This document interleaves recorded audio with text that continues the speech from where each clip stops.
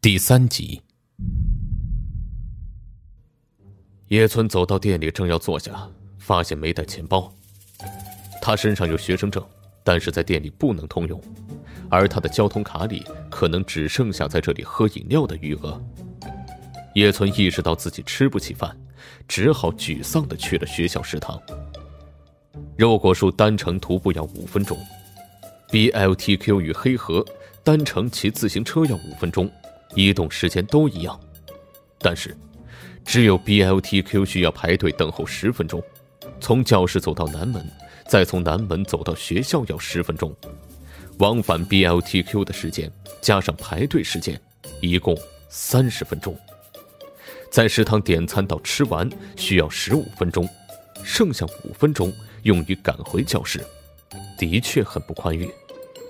叶村去的是 BLTQ。我真的是那句话后面，应该是竟然忘带钱包。如果他一开始去的是黑河或肉果树，应该马上就能回来。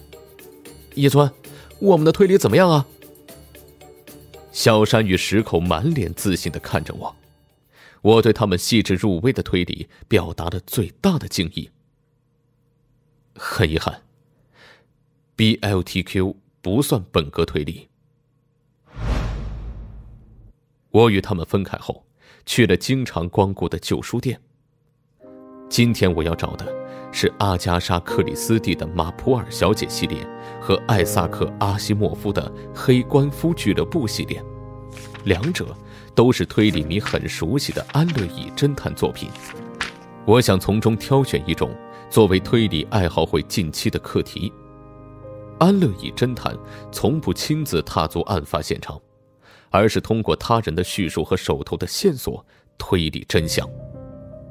这种毒物与经常出现在案发现场的比留子同学的遭遇正好相反，他可能会觉得新鲜。路上，我一直在思考那两个人刚才的推理。作为推理小白，他们的行动已经超过了及格线，不仅发现和处理信息的能力都很强。而且对待谜题格外认真，作为推理爱好会的会长，能看到这样的表现，自然很高兴。从这一点来说，我认可他们对推理的热情。但是，既然入会条件是解开谜题，这次只能让他们放弃。那两个人犯了几个错误，他们推测我的学生证和交通卡都与钱包分开放。但是，我的学生证实际就在钱包里，因此今天没带来。相对的，我身上确实带了交通卡，里面还有大约九百日元的余额。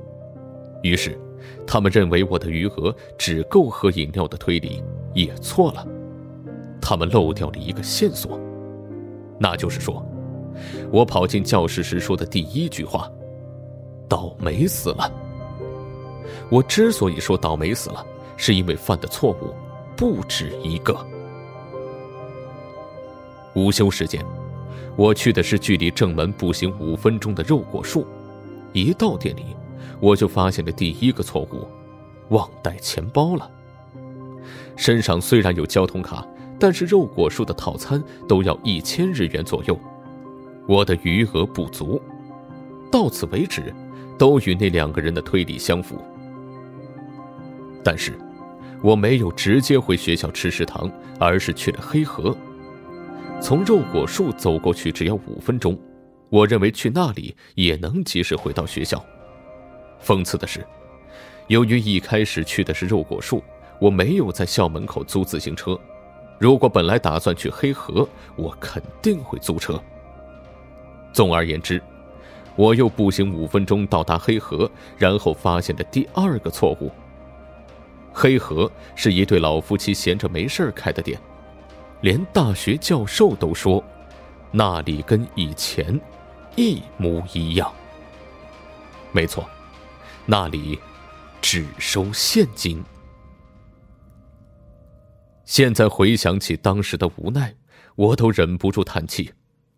他们两个跟我一样，在学校外面习惯使用现金，所以没发现这个线索。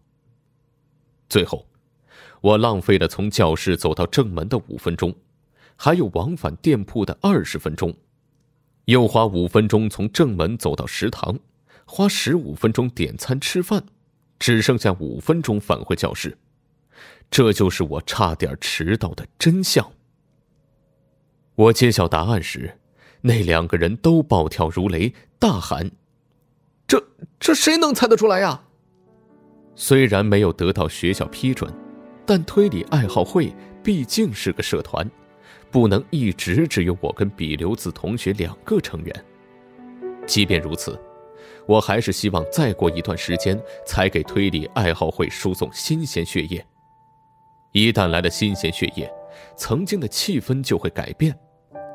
到时候，我所熟悉的推理爱好会就只能留在我的记忆中。实在是没办法。就算拒绝新鲜血液，也无法回到从前。即便如此，我还是想等到夏天再度来临。现在，哪怕一丝一缕也好，且让我抓住一些推理爱好会曾经的气息。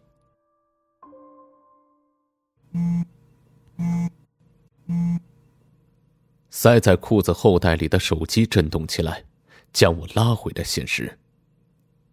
拿出来一看，屏幕上显示着比留子同学的名字。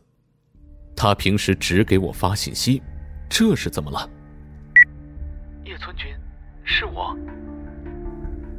听筒里传来嘈杂的声音，像是电子音乐衬托的明快宣传声。也许是游戏机室，或许是卡拉 OK 包间。跟那些热闹的声响相比。比刘子同学的语气显得格外严肃。突然联系你，真不好意思。我想请你马上出来。啊，出什么事了？我正在跟人谈论班木机构的事情。突如其来的话让我的心跳猛然加速。既然关系到那个组织，肯定不是什么好事。我给你发定位，你快过来吧。当然，我不会强迫你的。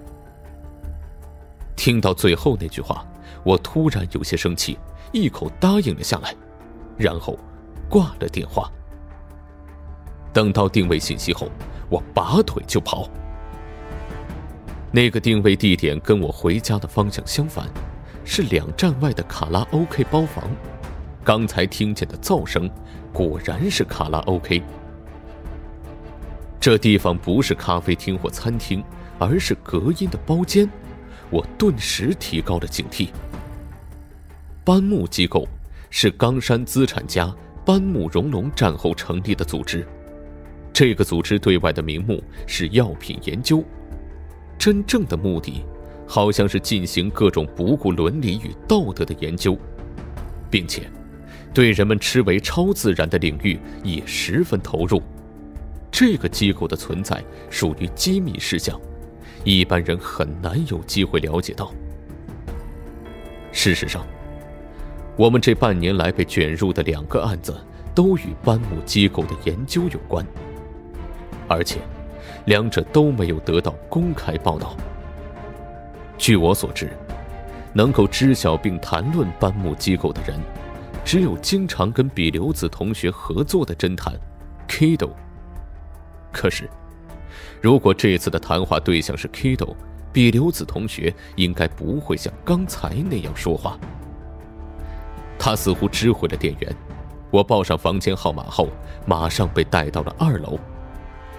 那是个角落的大包间，我刚停在玻璃门外，就有人从里面打开了门。一个黑发的美女探出头来，是比留子同学。谢谢你赶过来，快进来吧。比留子同学穿着正装风格的白衬衫和黑裙子，套着一件柔软的米白色针织衫，跟整齐叠好的大衣一块挤在沙发坐的角落里。我在他旁边坐了下来，桌子另一头坐着两个男人。右边的人看起来四十岁上下，左边的人则年轻一些。可能三十出头。